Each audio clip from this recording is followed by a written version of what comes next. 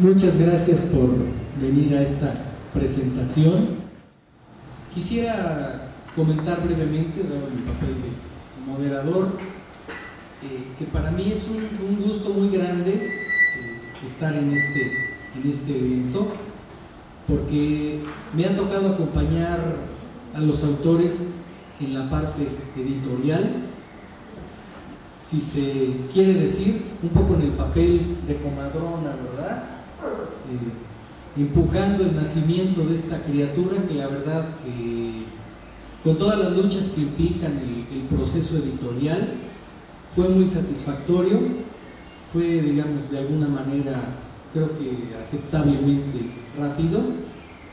Y quisiera comentar sobre todo, digamos, en esta, en esta parte para, para invitarlos a leer que la presentación del material en, las direcciones editoriales ante las personas que, son, digamos, que llevan el proceso, fue muy grato ver la, sorpresa y si, se quiere un poco como el, apetito por tratar de, sacar este, este material, porque tiene justo lo que muchos materiales eh, que se producen en el instituto conjugan de manera eh, muy afortunada tanto una parte de alguna manera histórico-antropológica, una conexión con las preocupaciones y las inquietudes de las comunidades respecto de su patrimonio y una edición, desde luego, magnífica, ¿no? con una tanto un diseño editorial muy atinado, que es parte, digamos, de lo que coordinaron los, los autores, como el material fotográfico muy afortunado, tanto en su calidad estética, como en las posibilidades de acceder a los momentos más eh, íntimos, digamos, de la fiesta que ocurre en Culhuacán. Entonces, esa parte fue como muy afortunada en el sentido de que el material digamos, contó con una expectativa muy, muy importante y la verdad que yo disfruté mucho todo el proceso con los, autores y para mí es un orgullo, insisto, estar en esta, en esta presentación. Pues le damos la palabra al maestro Antonio Macho. Buenas tardes. Yo quiero, yo quiero felicitar a los autores del, del libro. Eh, presentamos ahora sobre Culhuacán, eh, porque por diversos motivos, uno de ellos porque se inscribe en las eh, discusiones importantes que se están llevando a cabo en torno de la problemática de los pueblos originarios, eh, porque es un esfuerzo también de acercamiento muy estrecho de lo que es el cuerpo de investigadores del Instituto Nacional de Antropología e Historia con lo que es la vida cotidiana de las comunidades que forman este objeto de este estudio. Es un trabajo que da continuidad a un esfuerzo que se ha iniciado desde hace algunos años que fue el del proyecto el PIACE, que tuvo una visión integral de, un proyecto colectivo que ha tenido como eh, perspectiva eh, la de eh, generar un proceso de adquisición de conciencia acerca del patrimonio vivo y del patrimonio arqueológico, así como del patrimonio de reserva natural que existe en la zona del Cerro de la Estrella. Eh, con esto también eh, son, estos compañeros son pioneros en lo que se refiere a la formulación de una figura que vendría a ser la figura de zona patrimonial, entendida como una zona de patrimonio cultural que es eh, tanto del patrimonio vivo como del patrimonio arqueológico, y que ha sido una una de las grandes carencias que tenemos a nivel constitucional, a nivel de nuestra legislación, es decir, de contar con figuras integrales para la preservación del patrimonio, ¿no? y lo estamos viviendo ahora, por ejemplo, en casos como el de Cholula, ¿no? en Puebla. Entonces, son, son varias las razones por las cuales considero que debe ser bienvenido un libro con, con estas características. Ya en términos más personales, diríamos, ¿no? que a mí me parece eh, muy, muy agradable y que se refiere a lo que es la disposición de la sección fotográfica del libro, eh, de manera que favorece ah, una descripción etnográfica que como dice Samuel Villera en la presentación del libro, eh, aquí la fotografía no es un mero recurso ilustrativo, sino que dialoga con el ah, texto escrito, siempre vinculada a su referente textual, enriquece la comprensión de la pauta etnográfica. Eh, podríamos decir eh, también que ya esto es no solo en el sentido de que la imagen fotográfica pudiese, pudiese convertirse en algo por descifrar, eh, eh, como es el hecho de que entre lo que se percibe visualmente y lo que se describe, puede haber además diferencias eh, como las que serán entre dos campos del descubrimiento cognitivo. Lo visual, ah, según esto, ¿verdad? Estaría aportando no menos, sino algo más que lo que en ocasiones puede cubrir la descripción mediante la palabra. Y esto es algo que nos, permite captar este, este trabajo tan pletórico, ¿verdad?, de fotografías que se nos brindan con esta publicación. En este caso, se complementan recíprocamente la información etnográfica y las fotografías alusivas eh, de forma por demás explícita en relación con información del texto. En lo personal, por ejemplo, me agradaron especialmente las imágenes de las ayudadoras eh, y la preparación de la comida, así como estéticamente también los elementos que nos muestran de la poetería y los castillos y los cohetes. El libro que presentamos hoy eh, tiene como objeto el demostrar las expresiones culturales de uno de los pueblos originales de la Ciudad de México. Estos pueblos establecidos eh, con antelación en los contextos donde se desarrollaron grandes ciudades como el entorno de la Ciudad de México y cuyo tejido sociocomunitario sobrevive de manera persistente, son fuente y depositarios de un patrimonio cultural heredado desde la sociedad prehispánica. Por ello es que se configuran como una entidad singular con un perfil muy propio. Se trata de asentamientos ancestrales de población que emigró tempranamente para establecerse en ecosistemas que en poco más de un siglo y hasta en algunas cuantas décadas se han visto amenazados por el crecimiento invasivo que conlleva el proceso de urbanización y la especulación de los suelos. Algunos de ellos, eh, por ejemplo, como Xochimilco y Milpalta, representan una especie de frontera agrícola interna eh, que amortigua ah, hasta cierto punto la expansión desmedida de la mancha urbana. Asimismo, es el hecho de que un núcleo fundamental de la reproducción sociocultural de los mismos reside en una compleja organización comunal de pueblos basada en las mayordomías. Eh, eh, por supuesto, como, como núcleo de una arraigada religiosidad popular eh, en relación muy estrecha con el sitio agrícola y basada pues en una organización de tipo barrial. Por ejemplo, en Culhuacán hay 11, 11, 11 barrios. Eh, esto se da en un contexto muy importante en relación con la situación de lo que se considera como los pueblos originarios. Estos pueblos, como señala Andrés Medina, eh, se nos presentan como herederos de las antiguas civilizaciones mesoamericanas que han sucedido, se han sucedido en la cuenca de México a través de los tiempos, encarnan tanto la rica tradición mesoamericana como la huella del medievalismo hispano, según lo eh, señala el propio Andrés Medina.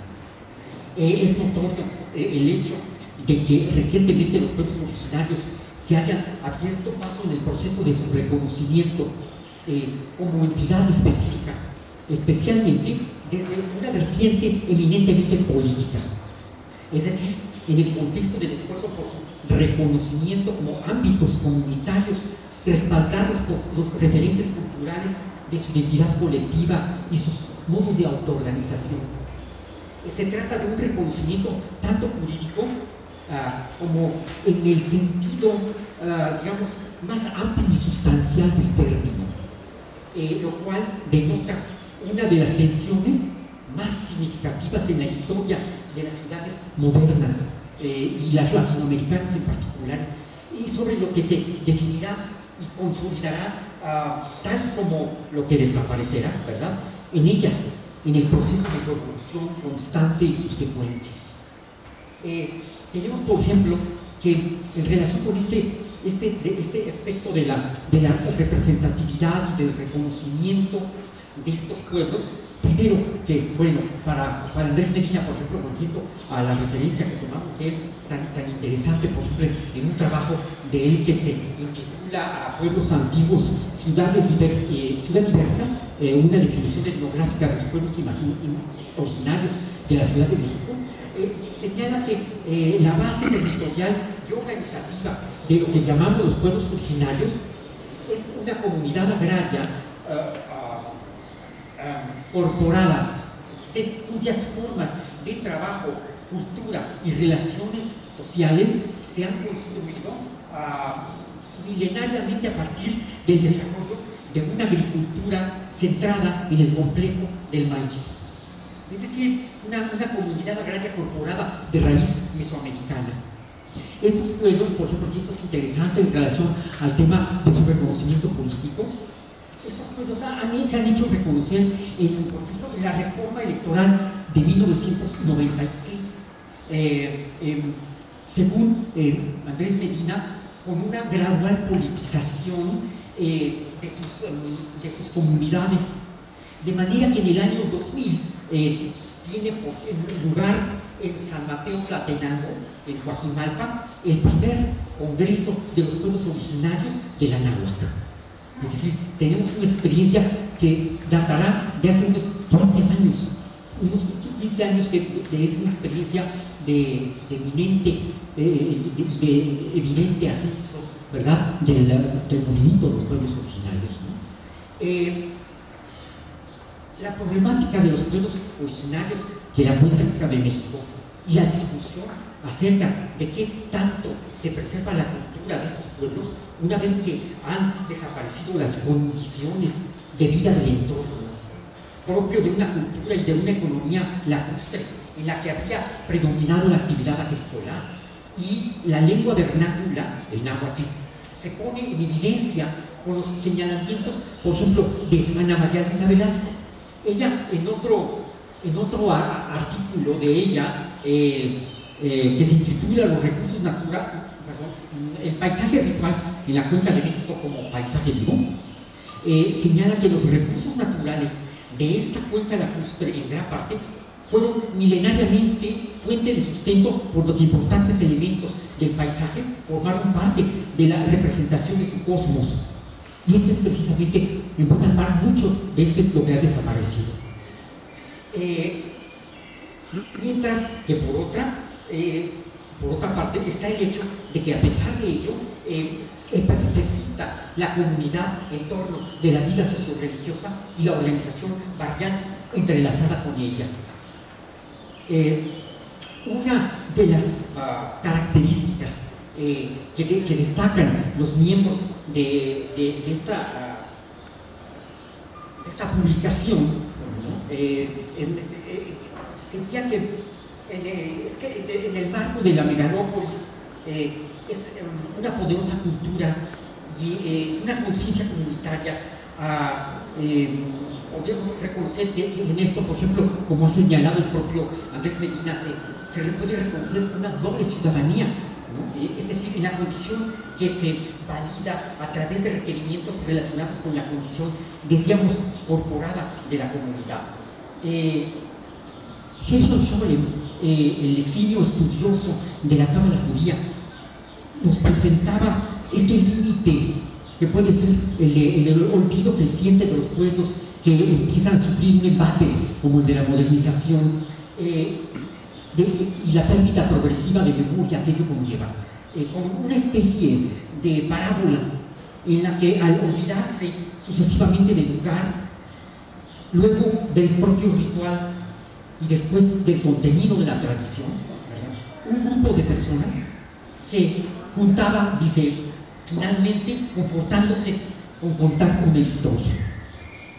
Este puede ser el caso, el caso de algunos de los pueblos originarios que han venido que ha venido fagocitando la Ciudad de México. En el caso de Culhuacán, sin embargo, la cohesión y la identidad socio-religiosa fincada en la organización barrial de las mayorías, como decíamos, sería tanto su reducto como su fortaleza. Eh, vuelvo de nuevo otra vez al caso de, Andrés Medina, porque él, por ejemplo, ha hecho una enumeración de los niveles organizacionales de estos pueblos que dan cuenta de una compleja y consistente trama de condiciones. Por ejemplo, propone una serie de características para el reconocimiento de lo que serían estos pueblos. Eh, como, como comunidad corporada, el patrón de asentamiento, la toponimia, los sistemas agrícolas de tradición mesoamericana, el núcleo de familias troncales, una organización comunitaria con instituciones como las fiscalías y mayordomías, los comisariados ejidales, los bienes comunales, la asamblea comunitaria, las comisiones de festejos, así como los subdelegados y los coordinadores territoriales. Eh, una cultura también, una cultura comunitaria, la articulación con diversos circuitos ceremoniales, una memoria histórica, un calendario ceremonial anual de fiestas patronales, de cuaresma, de invierno, de peregrinaciones y mesoamericanas, eh, y fiestas cívicas. En Culhuacán, por ejemplo, estaría la de San José, que se sobrepone con la del Día de Trabajo del primero de mayo en el barrio de Tula. Eh, un aspecto que me parece sobresaliente eh, la importancia, es la importancia eh, que, se le da aquí, en este texto de, María Elena, de Mario y de Ana, María Luisa, eh, la importancia que tiene la enorme la comida, esta, centralidad que tiene el, hecho de, del papel que, juega la comida en la vida cotidiana y en el ámbito de, todo lo que es ceremonial. Su ritualidad, eh, y la aportación individual al servicio de la comunidad. Eh, las ayudadoras, por ejemplo, que es este grupo, que es el exponente de una forma yo dirían algunos, el otro día platicamos, se expuso algo acerca de esto, eh, y del capital social, lo que ahora se ha conocido como capital social. ¿no? Para, para algunas investigaciones antropológicas que se desarrollan actualmente en la línea del llamado perspectivismo, por ejemplo, se podría advertir un fenómeno sobresaliente en el que se concibe a los componentes alimenticios con los atributos de una personalidad. Y aparece en evidencia en lo que ahora se denomina como agentividad de los objetos o como en este caso eh, la personificación de lo que es orgánico, por ejemplo en el caso de los elotes de maíz, cuando los autores comentan que para que estén contentos ah, la olla y los tamales, se vierte tequila o cerveza en el caso, se reza y se le colocan en las asas unos aretes y un collar de hojas de maíz. El cocimiento y la elaboración se acompañan con música. También para que no se enojen los tamales, se golpea con una, un palo o una servilleta el caso y hasta se les regaña o se baila a su alrededor cuando se duda en el cocimiento de los tamales. Una característica, podríamos decir, de la relación de colaboración entre investigadores y museógrafos eh, con los pobladores de Culhuacán es el acceso social que se ha tenido a los museos y la experiencia museográfica como un aspecto, diríamos, del empoderamiento social y de que esto puede esto, de lo que esto puede significar al hacerse extensivo a otros ámbitos de la vida sociocomunitaria. Nada despreciable si se recuerdan otras experiencias exitosas de este tipo, como por ejemplo en Yahuitlán, Oaxaca. Algunos exponentes culturales eh, se plasman en Culhuacán como en la, la, arquitectura habitacional, la traza y sus huellas constructivas, el patrimonio monumental y paisajístico, la religiosidad y el sentido comunitario eh, eh, del trabajo comunitario, perdón, las cofradías y sistemas de cargos, las mayordomías y la cooperación voluntaria, el culto a los santos, los sistemas rituales, el parentesco y el sentido de reciprocidad, pero también otros componentes como el pasado histórico y lo que incluye eh, la interacción también con el territorio, la vida ritual, la vida cotidiana misma, la identidad, la concepción del mundo y de la vida y los elementos que hacen posible la cohesión social en, diferentes aspectos. En mi opinión, lo más importante sobre lo que se da cuenta en este libro es el trabajo estrecho, como decía en un inicio, con la comunidad que ha representado exponer los elementos de estas manifestaciones culturales que se encuentran tan vivas. Ah, ah, el hecho sobresaliente aquí no es tanto que se lleguen exponer en un museo estos bienes objetivados de las culturas, sino de proporcionar una muestra de lo que se encuentra en pleno goce de salud. Por ello es que no puede menos que dejar una sensación de ironía. La ilusión y la satisfacción de los pobladores de Culhuacán al ver sus objetos expuestos en el Museo Nacional de Antropología Sabemos que se trata de un recinto prestigioso y de un especial simbolismo, aunque por otra parte sabemos también que este ha llegado a ser el recinto y último reducto de la memoria de las culturas desaparecidas en nuestro país. Es irónico porque la cultura popular y religiosa del pueblo de Culhuacán se halla en plena vigencia, no obstante haber desaparecido la lengua y la forma de vida originarias por las que los habitantes se vinculaban estrechamente a un determinado ecosistema. Eh, nos quedamos, sin embargo, todavía con el deseo y la curiosidad de saber más acerca de las costumbres, diríamos, de, la música y otras expresiones de los pobladores de Culhuacán, así como de las formas tradicionales del trabajo comunitario en campos como el de la organización y la gestión de museos, como el que tiene a cargo el INA. El libro es sin duda el resultado y culminación de un periodo que se ha completado y constituye un modelo idóneo en nuestra institución, pues se funda en la colaboración entre pobladores e investigadores para la consecución de objetivos comunes y es por el logro de esos objetivos que felicitamos a los autores. Muchas gracias.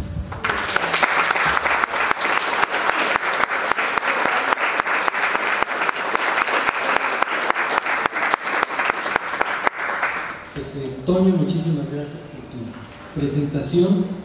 Y ahora es el turno de eh, la doctora María Lorena Pérez Ruiz. Un libro se lee desde, desde la memoria, desde la emoción, desde el sentimiento, desde la parte culta. Y yo decidí que había tres por lo menos eh, elementos que me sugirió la lectura, que por dónde podría ir la presentación. Una era el proyecto que generó el libro, o sea, ¿qué estuvo atrás? De la idea de hacer un libro como este. Segundo, hablar también del contenido del libro. ¿Qué dice el libro? ¿Cuáles son sus capítulos? Y otra cosa era, pues, ¿qué nos evoca o qué nos deja como tarea para seguir queriendo conocer más y como reto para los autores de lo que nos quedaron a deber para siguientes publicaciones?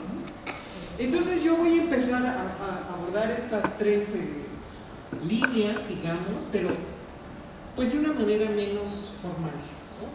Yo diría que es importante decir primero de dónde salió este libro. Los autores nos dicen que este libro se derivó de un trabajo realizado en Culhuacán a partir del proyecto de investigación antropológica del Cerro de la Estrella. Para mí, entonces, se trata de un ejercicio muy interesante, o sea, es un, eh, este libro yo podría decir que expresa el resultado de un experimento social en el que trataron de hacer las cosas de una manera diferente en el instituto o cuando se trabaja patrimonio, donde por un lado están los monumentos, por el otro lado está la institución, y por el otro los aprendices investigadores que se acercan a a ver cómo son las cosas. Y ellos trataron de romper este esquema y poner a todos estos elementos a danzar de alguna manera, a darle sentido para que se articularan en un producto que fuera significativo, significante para cada uno de ellos. Y no solo para la academia, no solo para los que conservan, no solo para la gente que hace su vida alrededor de estos pueblos. Entonces participaron en él la Dirección de Estudios Arqueológicos, la Dirección de Etnología y Antropología Social, y la subdirección de laboratorios y la subdirección de laboratorios de apoyo académico. Entonces fue un, un ejercicio, un experimento transdisciplinario, también interinstitucional o transversal dentro de las instituciones, donde participaron arqueólogos, etnólogos, antropólogos sociales, historiadores, etnohistoriadores, arquitectos y biólogos. Este es, digamos, el, caparazón que permite que surja un producto como este. Toda esta interacción con lo que los llevó a ver el patrimonio también desde la gente, desde lo que se estaba viviendo alrededor del patrimonio. Sin duda una experiencia que innovadora, innovadora dentro del INA, pero también dentro de la investigación social, antropológica, arqueológica, que generó experiencias y enseñanzas dignas de darse a conocer. Y esta es una de las tareas que nos dejan pendientes. ¿Qué pasó con el proyecto que le dio origen a este libro? Del contenido del libro. El libro, Culhuacán, Luz de la Memoria, para mí es un libro bello y sobre todo es un libro gozoso, de gozo, de vida, porque se disfruta como un paseo que combina imágenes, texto, historia y sobre todo evoca sensaciones que remiten a lo que es la vida de estos pueblos que, tienen una larga historia, como mencionó Toño, pero también a sus fiestas que son absolutamente vigentes, a su comida, al olor de la pólvora, al olor de las flores que está permanentemente presente entonces para mí es un paseo que nos conduce al gozo, al disfrute, al, antojo. Es evocativo, aparte de ser muy, muy bello. Porque este libro huele a flores, huele a pólvora, a la pólvora de los cohetes, que en Culhuacán sirven para comunicarse, es la, es la vía para mandarse señales entre los que participan en la organización de las fiestas, entre los mayordomos. Es una manera de señalizar, de avisar, de decir acá estamos, vamos trabajando. Entonces, los cohetes son algo más que el ruido, es, es una manera de comunicar. Eh, y de comunicar y de poner en interacción a los cientos de personas que se alistan por ejemplo, para la organización de la fiesta en todas sus fases, la comida, las flores, todo. Es una manera de decir señales, aquí estamos. Sin embargo, la pólvora se usa también para lavar a los santos, para dibujar el cielo y sobre todo para llenar de alegría con los castillos y con los fuegos artificiales a quienes asisten a la fiesta, para rememorar la historia, pero también para, para revivir y para actualizar sus costumbres, sus lazos de solidaridad, de amistad, de parentesco y también como una vía para cumplir promesas, para cumplir compromisos que están vigentes y que se reanudan uno tras otro cada vez en cada ciclo y fortalecer la identidad las, eh, y las familias hacer comunidad, como dirían algunos. Hacer la fiesta también es hacer comunidad. Es también la manera de cumplir compromisos que como muestra el libro son para darle sentido al trabajo, como el de tejer redes sociales que defienden al pueblo, por ejemplo, de la voracidad de la ciudad que se lo trata de comer, que la trata de urbanizar, que trata de quitarle su identidad hacia una mega lugar de habitación y de trabajo exacto. Es mucho más que esto, es una manera de defenderse, de crear barreras para conservar esta comunidad, esta identidad local, que tiene fuertes raíces, como ya lo señalaba Toño en su presentación. Entonces es para, también es para tejer alianzas con las deidades, con los santos, con las vírgenes. es refrendar, nosotros estamos aquí, ustedes están allá, pero estamos juntos en esto y vamos a, revivir y a refrendar cada vez que hacemos la fiesta que estamos juntos y que nos ayudamos mutuamente. Entonces es, para tejer alianzas que además brindan a las familias bienestar y salud, porque es también parte de esa reciprocidad entre humanos y santos, el darse, ofrendarse, reconocerse, pero también generar salud y condiciones para la reproducción de la vida. Pero para mí también se trata de un libro en el que se siente la participación de la gente. O sea, no es solamente bello. Ay, mire qué bonitas fotos tomaron los fotógrafos. No, porque se siente en el libro a través de las imágenes, de lo que nos narra, se siente la presencia de la gente. Porque las fotos dejan ver que quienes participan en la fiesta están conscientes de que por ahí andan algunos loquitos, los autores, metidos hasta la cocina. O sea, la gente que se deja fotografiar, la gente que se, sabe que están ahí. O sea, no son fotos furtivas, tomadas clandestinamente, no. La gente que está consciente de que ahí hay alguien que está tomando estas fotos, que se han metido hasta la cocina, como dice una de las partícipes, porque no hay otra manera de conocer si no es hacerlo a través de la cocina, como dice esta persona. Es una vecina que al testimoniar el tipo de participación que tuvieron María Elena, Ana María y Mario en la construcción de este libro, están presentes ellos, no son objetos para hacer un libro, son la, la parte viva y las fotos tratan de captar esa parte viva.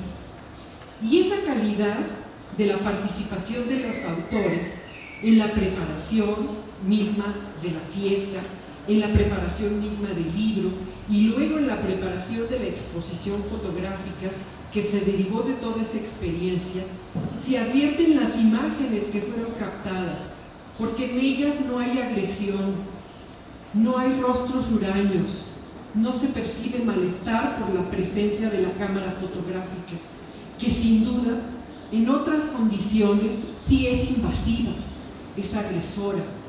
Aquí la cámara es colaborativa, es amistosa, es parte de la recuperación de la memoria. Como en este caso, que estuvo siempre comprometida la cámara de los fotógrafos y los compañeros con el pueblo de Culhuacán y su patrimonio cultural. Así, en el recorrido por el que nos conducen los autores, conocemos la historia de Culhuacán y su patrimonio cultural, conocemos sus rincones, las partes valiosas, que son valiosas para la historia, pero también para la localidad, y nos adentramos en la amplísima organización social para realizar la festividad de la Santísima Trinidad y el jueves de Corpus Christi. Así que un capítulo completo emplean los autores para narrarnos cuántas son y de qué trata cada una de las mayordomías que hacen posible esta, esta festividad. Cada una con un emblema, con sus miembros, con su organización, sus distintivos plasmados en la ropa, en los mantiles, en las gorras, que los hace ser visibles. Nosotros somos esta parte de la fiesta y somos la familia tal y somos el grupo tal y aquí estamos y estamos cumpliendo. Por ejemplo, a mí me impresionó el número de mayordomías. ¿eh?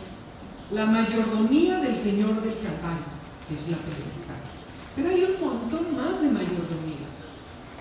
La mayordomía de la misa, que se responsabiliza de que la misa sea como debe ser, en el momento en que debe ser y para lo que debe ser la mayordomía de la flor, porque está lleno de flores, es, un jardín, las fotos, yo nomás me imagino lo que debe de oler estos espacios con tantos perfumes. Además es, es el color de las flores lo que le da una vida impresionante. Entonces está la mayordomía de la flor, la mayordomía de la música, porque no puede haber festividad sin la música, que alegra, que dice, que induce a compartir, a estar felices. La mayordomía de la portada. A mí al principio ¿cuál portada? Bueno, estos arcos maravillosos de flores, que son verdaderas obras de arte. Algunas pueden ser de flores que se van a destruir por la propia vida de las flores que se acaban, pero que son verdaderas obras maestras en el diseño, en la calidad del colorido, de lo que evocan, de lo que dicen.